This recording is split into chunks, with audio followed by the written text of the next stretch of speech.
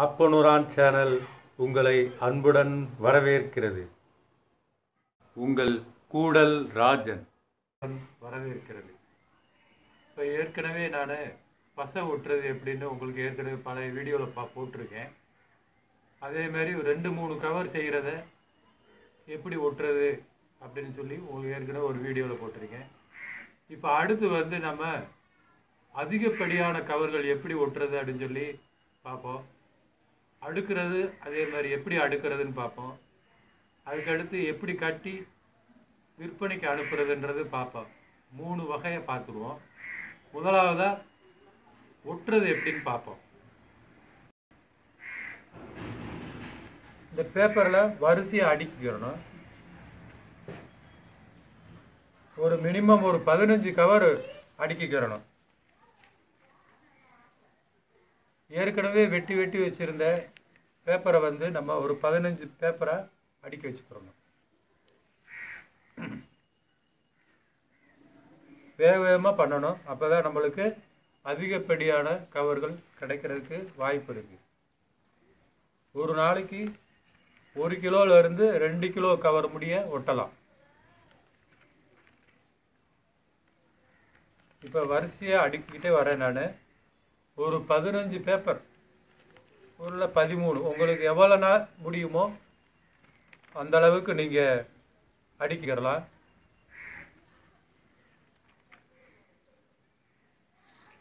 நான் ஏற்கனவே சொன்ன மாதிரி இந்த பசை காய்ச்சி வச்சிருக்கேன்.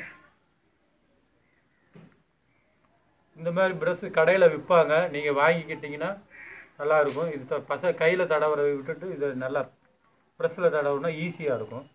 கையும் நல்லா நனையாமல் இருக்கும்.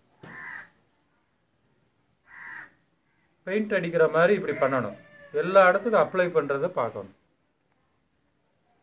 விட்டு விட்டு அடித்தோம்னா சரியாக ஒட்டாமல் போயிடும்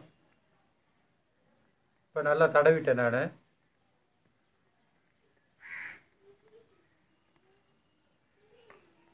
இதை அப்படியே ஒட்டணும். இந்த கவர் இப்படி எடுத்துட்டு அப்படியே இப்படி திருப்பிட வேண்டியது. தோசை மாதிரி திருப்பிட்டு இப்படி மாற்றி வச்சுட்டு ஒட்டணும். நடுவில் வந்து ஒரு அமுக்கு அமுக்கி விட்டுறணும். இதை வந்து கொஞ்சம் வேக வேகமாக செஞ்சிடணும் செஞ்சாதான் நம்மளுக்கு அதிகப்படியான கவரும் ஒட்ட முடியும்.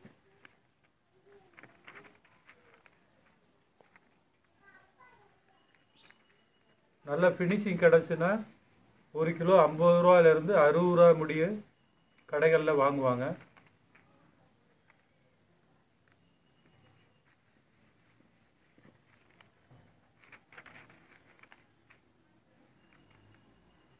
இந்த எட்ஜ் பகுதி நல்லா கரெக்டாக வைக்கணும். முன்பேன்னு இருந்துச்சுன்னா அசிங்கரமாக இருக்கும்.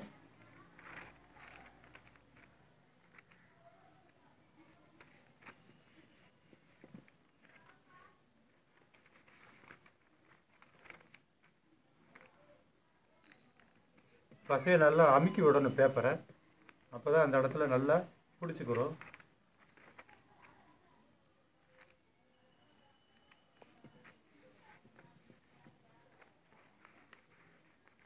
வேக வேகமாக ஒட்டணும். ஏன்னா அந்த ஏற்கனவே நம்ம தடவி இருக்க பசை வந்து காஞ்சு போயிடும் ரொம்ப நேரம் விட்டோம்னா காஞ்சிரும். அப்புறம் மறுபடியும் பசையை தடவணும்.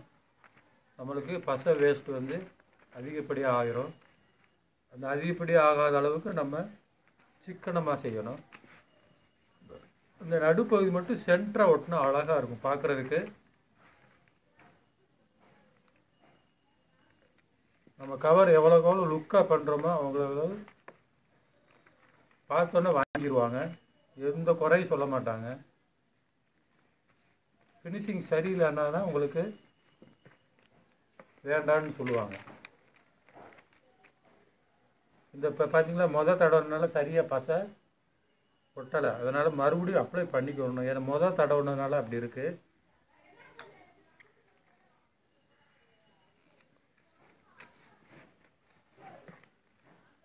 இப்போ ஒட்டி முடிச்சுட்டேன்.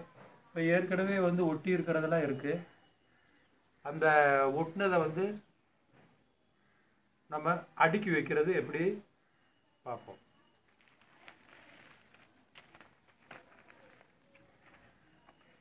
மொத்தமாக எடுத்துட்டு இப்படி ஒரு அடுக்கு. முடிஞ்சு முடிஞ்சோன்னா இப்படி சைடில் பூரா அமுக்கி வச்சுக்கணும். நான் ஏற்கனவே ரெடி பண்ணி ஏற்கனவே பல இது வச்சுருக்கேன்.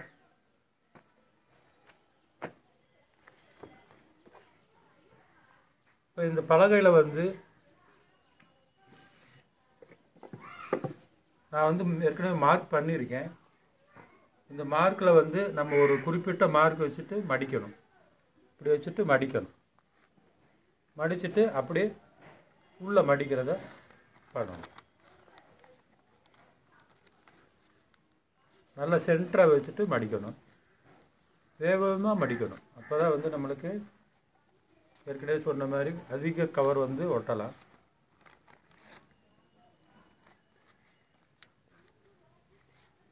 உங்களுக்கு சாம்பிளுக்காக ரெண்டு கவரு மடித்து காமிக்கிறேன். நான் ஏற்கனவே ஒட்டி மடித்து வச்சுருக்கேன். இப்போ எப்படி ஒட்டுறதுன்னு பார்ப்போம். இந்த லேமினேஷன் சீட்டை போட்டுக்கணும் அடியில். ஏன்னா பசை வந்து ஒட்டும். இப்போ இந்த மாதிரி ப்ரெஷ் ஒன்று வாங்கி வச்சுக்கிறோம் அப்போ தான் ஈஸியாக இருக்கும். கை விரல் மாதிரி இருக்கும். இப்போ நேருக்கு நேரம் இந்த ஒரு கோடு இங்கிட்ட ஒரு கோடு இப்படி மடக்கிட வேண்டியது. ஆப்போசிட் மட்டும் இந்த மாதிரி மடக்கி பசையை தடவி இப்படி மடக்கிடணும். இப்படி தடவி தடவி காய போடணும்.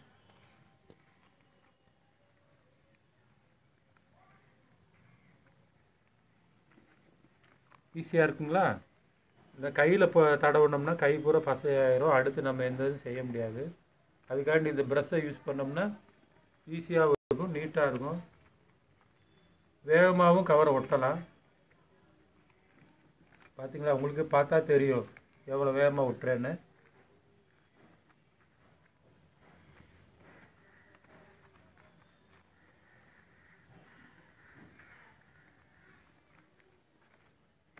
ரொம்ப க பசை தடவை தேவையில்லை. ஒரு தடவை ப்ரஷ் எடுத்துட்டோம்னா பசையை நினச்சி எடுத்தோம்னா ஒரு நாலு கவர் அஞ்சு கவர் ஒட்டலாம்.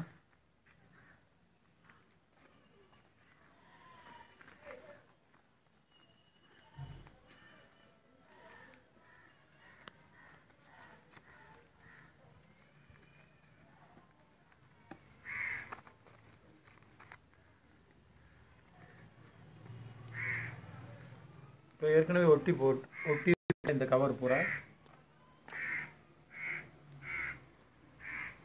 அது வந்து எப்படி அடுக்கிறதுன்னு சொல்லி இப்போ காமிக்கிறேன்.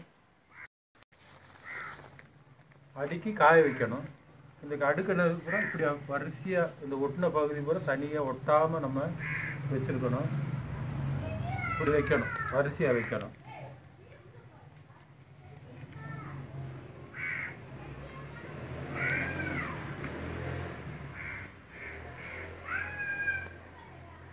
இதுக்கு வச்சுக்கணும். இப்படியே அடிக்கிட்டே வரணும். உங்களுக்கு அடுக்கிறது எப்படின்னு சொல்லித்தாரு இப்போ இதே காஞ்சி போச்சு. ஏற்கனவே நான் நேரத்து ஒட்டினது. காஞ்சி போச்சு. இப்போ அடுக்கிறது சொல்லித்தாரு இப்போ வந்து குறிப்பிட்டு என்ன தேவையில்லை? இப்படி எடுக்க வேண்டியது. எடு எடுத்து எடுத்து ஒரு குறிப்பிட்ட அஞ்சோ பத்தோ என்ன தேவையில்லை. இந்த இதை பொசிஷனை வந்து இப்படி மாற்றி வைக்கணும் இப்படி. இப்படி மாற்றி வைக்கணும். ஒன்றுக்கு ஒன்றா மாற்றி மாற்றி வைக்கணும். அப்போ தான் கரெக்டாக உங்களுக்கு அமுங்கும். இது போக அடுத்து வந்து இதுக்கு மேலே வந்து வெயிட் வைக்கணும். வெயிட் வச்சா தான் உங்களுக்கு இந்த பைண்டிங் செக்ஷன் இருக்கு இல்லையா? அவங்கள வந்து இந்த மாதிரி தான் வெயிட் வச்சு அமுக்குவாங்க. அமுக்குறப்ப நல்ல ஃபினிஷிங் கிடைக்கும் அந்த கவருக்கு இப்படி மாற்றி வைக்கணும்.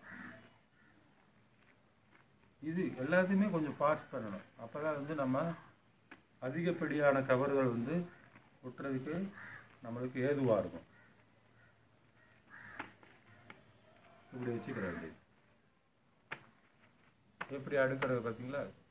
மாற்றி மாற்றி வச்சுருக்கேன்னா அப்படி வச்சாதான் வந்து இந்த வெயிட் வந்து அமுக்கும். இப்போ வெயிட் வந்து எப்படி வைக்கிறதுன்னு பார்ப்போம்.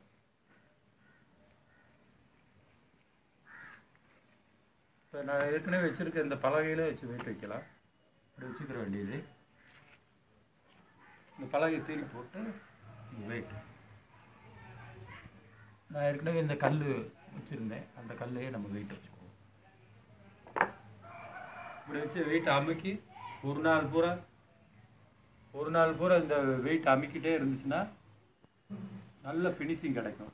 ஃபினிஷிங் கிடைச்சதுக்கப்புறம் அதை நம்ம எடுத்து அடுக்கி ஒரு குறிப்பிட்ட அளவு வச்சுக்கிட்டு அப்படியே கட்டிட வேண்டியது.